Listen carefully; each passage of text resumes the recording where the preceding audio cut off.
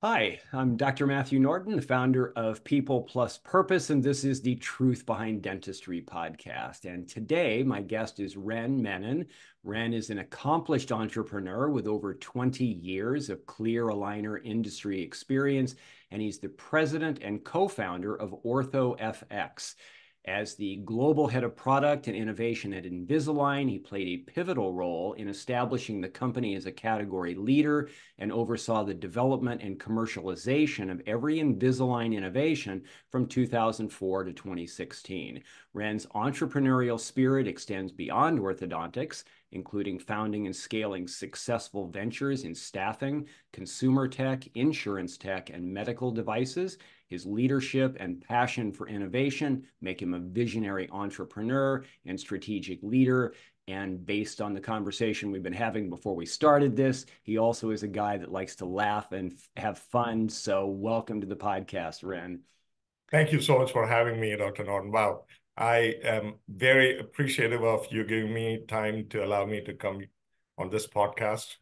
Looking forward to talking to you and hopefully laughing. Yeah, yeah. Well, it's my it's my honor. So so thank you for for giving your time to join us and and and I've I've been looking forward to it. I you've you've accomplished a lot of things. You've found kind of more recently uh, this kind of a new home compared to you know some of what you've been doing in the past. But let, i think a good place to start is kind of how did OrthoFX get started? And maybe a little bit about the team that founded it. Let's let's begin there. Yeah okay. Yeah that's a great place to start. So OrthoFX was uh, i left my previous employer in 2016 and then i am a nature outdoor person and i do a lot of walking meditations dr norton. So I think I walked around and a lot of thought was around what do I want to do next? And the thought that came to me over and over and over again was what can I do to improve orthodontics, the one industry that I know really well, and what can I do to improve clear aligners? If you look at the world of clear aligner therapy today, the one word that, that came to my mind, that continues to come to my mind, is the word interruption. Mm. It is, uh, if you think about um, the interruption that it creates right from the screening process. A lot of general practitioner dentists do not screen for orthodontics. So mm-hmm. you need to interrupt the natural flow of an office to get screened. Mm-hmm. And then say that you screened, then you know getting financing approved is the next barrier. And then it goes on, everything from the aligner itself, um, you have to wear it for 22 hours, for months that is a major lifestyle interruption. Mm-hmm. And then say that, say, you know, your treatment does not track, then you have to go back all the way to the start, rescan the, your teeth, retreatment plan, remake the aligners, reship it to the office. You throw all the aligners away, and again, it's just plastic. And then you start the whole process again. In between, you're losing about two to three months. So it's a major interruption in a patient's life, the way it is working today. Mm-hmm. And uh, it's also a major interruption in a dentist's life. It is not dentists, as you know much more than I do, are not naturally uh, optimized for aligner therapy. The workflow is not optimized for aligner therapy. It's a one-off in many cases. And uh, same is the case with many orthodontists, because that's why they carry multiple devices. So what I wanted to do was to turn this from uh, an interrupt-driven modality to something that seamlessly blends in and flows with your life. I wanted to make sure that life uninterrupted is our brand promise, and that's what we wanted to set out. That's what we set out to build. And once I was clear on what we needed to build, which is a next generation device that, yes, does everything that an aligner is supposed to do, but with a lot more convenience and also add value by providing additional things that an aligner does not do today, like providing health and wellness guidance. Since you are your you know your um, your saliva is a is a it's it's a treasure trove of information. There are 250 biomarkers there. So we wanted to evolve the aligner category into a next generation device. And in this journey, I was fortunate to partner with some of the originals who were part of building the foundational technology in this industry. My co-founder, Loc Fan, invented the aligner polymer. and is the inventor of the most used aligner polymer in the world today.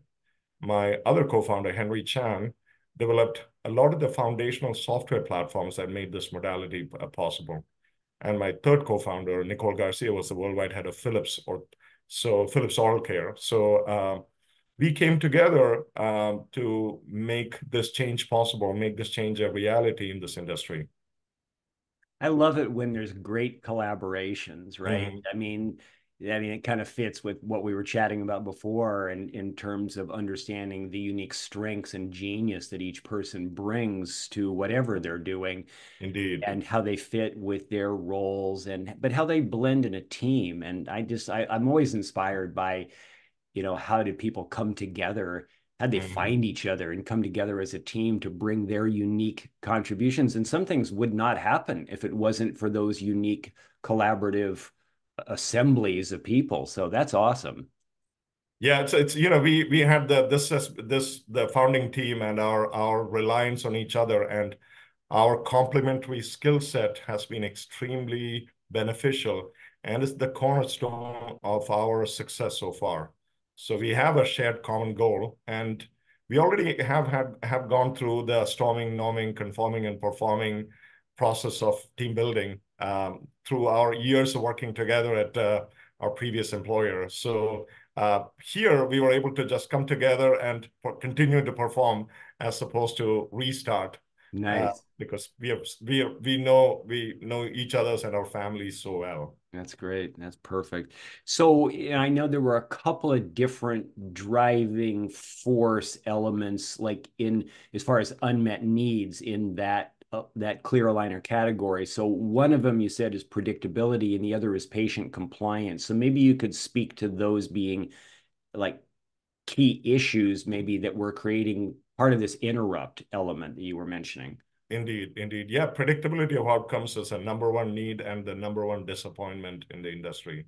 Um, the way it works today is that, say, your your treatment plan is visualized, as you know, through uh, 3D software and uh, incorporated into that software, into that treatment plan, is an expectation on the duration of the treatment and how teeth will progress. In a high majority of time, like about 80% of time, that is not how it ends up working out in reality. Mm. It ends up being um, it ends up being off from that plan, and then you know, like I was uh, sharing earlier, uh, you need to go through the process all over again this happens in about 70 to 80% of the cases. So lack of predictability is a critical unmet need. And then compliance is the other unmet need. These are correlated elements, as you can imagine, Dr. Right. Norton. Yes. Um, compliance is uh, it's it's not because of patient negligence alone. It's also because the aligners are it, it hurts a lot the first few days. You know, so Sometimes uh, people are on a Tylenol diet the first few days that they're on an aligner. So people are inherently non-compliant. And uh, added to that, there are there are some inconveniences that are caused in the form of pain by the existing devices. So these two contribute to a category that, again, you know, that is highly disruptive to the daily life of a patient and a dentist or, or an orthodontist. Yeah. And that's, I mean, it's important to be able to solve for those variables, right? Those issues. Otherwise, you're just accepting that that's inherent, completely inherent in the game. And, but then you don't get, you can't get a solution. Indeed. Yeah. Yeah. Well, that's one way to, one way is uh, acceptance saying that, hey, you know, this cannot be improved. But uh, we wanted to think differently. We wanted to make sure that this is not the accepted norm. We wanted to change the dialogue around this. So we knew the foundational uh, attribute that we needed to change was the force system that is moving teeth, i.e. the polymer or the aligner um, plastic that is moving the teeth. So we started on a very difficult, uh, risky, time-consuming, expensive journey mm -hmm. to mm-hmm. reimagine the polymer, at, which is at the very core of how teeth are moved today.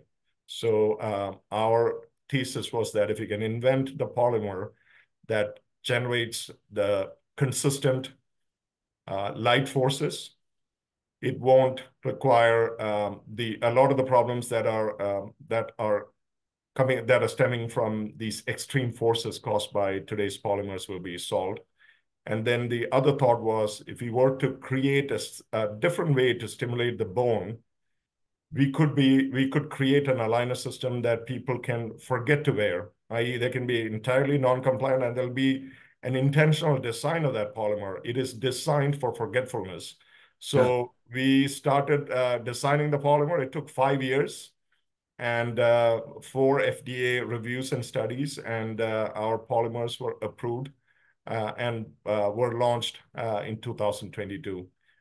we have three polymer options, each going after the, the attributes that you spoke about, predictability um, and compliance.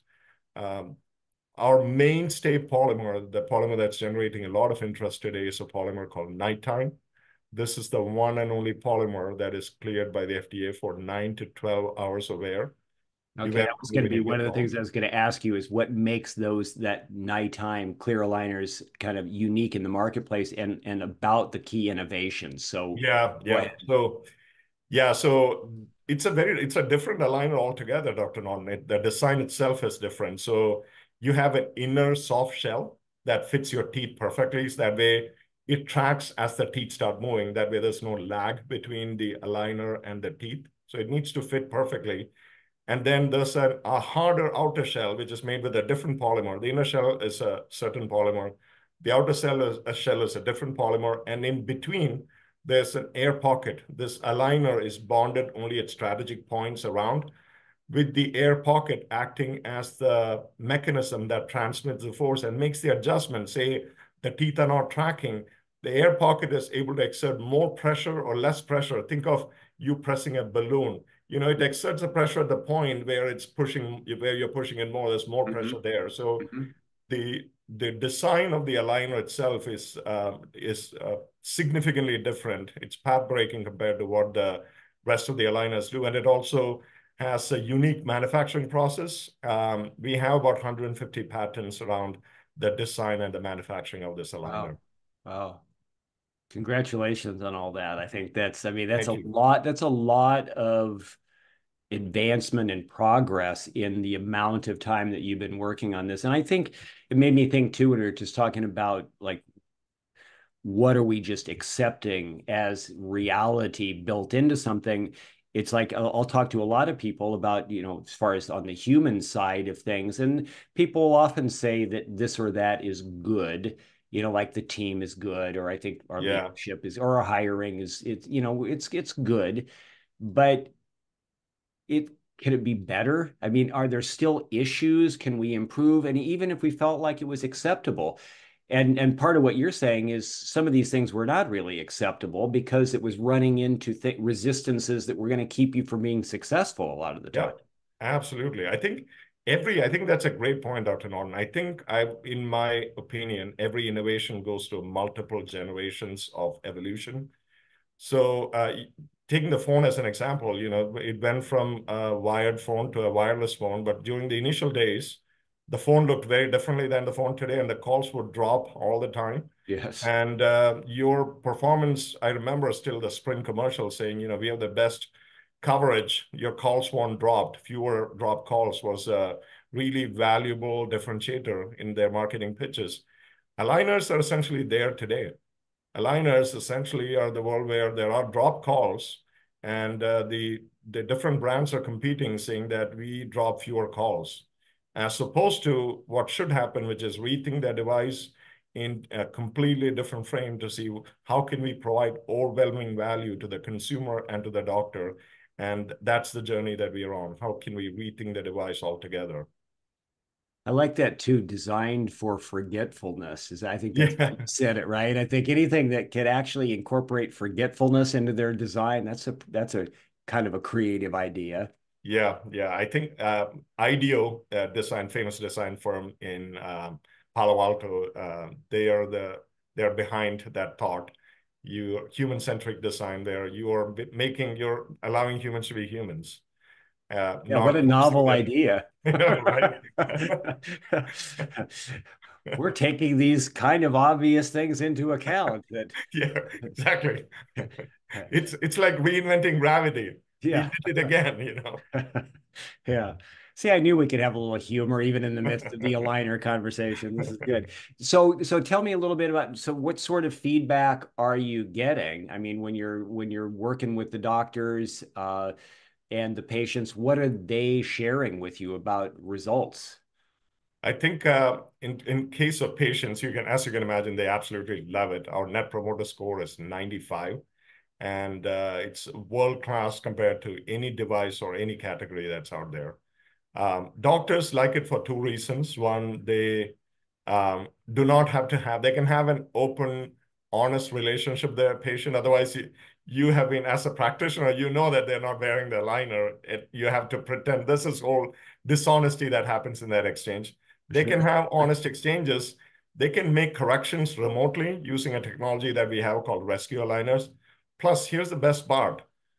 Patients are willing to pay up to $1,000 more for an aligner that they can wear um, that fits their lifestyle. So they're willing to pay. So more money per sale, fewer office visits, fewer disruptions, happier patients. Um, what more can you ask for? I'm, I'm sure you can ask for more, and we are working on some more things. But in general, we are hearing great feedback, and uh, our um, product uptake um, uh, in terms of number of users have been very strong also. That's great. I mean, that's just a consistent focus on what objections do we need to overcome? Where are we failing, but what objections do we need to overcome? And I think it also proves that, I mean, people want things, but sometimes they want other things more. Like I want yeah, that. Yes. What I really want more than that is this, right? I yes. don't want, and a lot of times we think it's just money. What you said proves that it's that money is not the only barrier. In fact, it's not even mm-hmm. the primary barrier uh, much of the time, right? I yes. very good. Yes. And, and that's so important in terms of product design, the stated needs and the latent needs. Mm. The key behind a good product design is discovering those latent needs that are unsaid that they it's there but it's not like you know you're they're they're so wired in the paradigm that they are operating in today that they cannot think of a different paradigm you know it's it's uh it's the the whole problem with someone who's used to horses inventing a faster horse as opposed to a car. Yeah, yeah, that's good. I remember being. It makes me think of a time I was at a I was at a, uh, conference and the speaker was saying that was challenging the people in the audience, saying that what you have is what you most want, and there was mm-hmm. kind of this grumbling in the crowd, right? And and and somebody was saying, no, I mean, like, I want to find a spouse. I want to be married, for example. Mm-hmm, mm-hmm. And he says, yeah, you may want that, but to the degree that you yet don't. And again, mm-hmm. this is, I, I, think there's, you know, we could argue for this being overly simplified, but I mm-hmm. think the point is still there. He says, what you, there's something you want more, which is to not be uncomfortable going through a dating process. You Absolutely. So again, it's like, I want these benefits from an aligner, but I don't want to hurt. I don't want to have to go through that, or I yeah. don't want the risk that it's going to fail. Or yeah. so those are actually things I want more, right? Yes. I don't care yes. what price you make it, that still doesn't change those fundamental elements. Yes. And discovering those latent needs, that's actually well said, Dr. Norton, because finding those latent needs can be extremely challenging. And that's what we, in this case, our 20 years of experience working in the industry now, collect team collectively has about 100 years of experience. So having diverse perspectives and having a background in the industry really helped in terms of um, teasing out those needs uh, that we started working on. It's not easy. No, no, I'm certain that it's not. So, um, what else might you want to share before we wrap up? Anything that I didn't ask you or you didn't get a chance to say? Is there anything else that would add value to the conversation in terms of further understanding or application? Yeah, yeah. One, one of the things that I felt um, that the brands in the industry were doing was selling a device and walking away. And uh, we tend to forget that uh, orthodontists and dentists, uh, they're small business owners. And they need a number of things beyond the device to make that device into a profitable business hmm, proposition. Mm, They need things like, you know, um, financing, following up on pending patients, marketing. All these needs are often left entirely to the device of the, the small business owner. And uh, I felt that our brand felt that that is not the way, the responsible way to serve uh, the provider community. So we have built an all-in-one solution where all these services are available to you.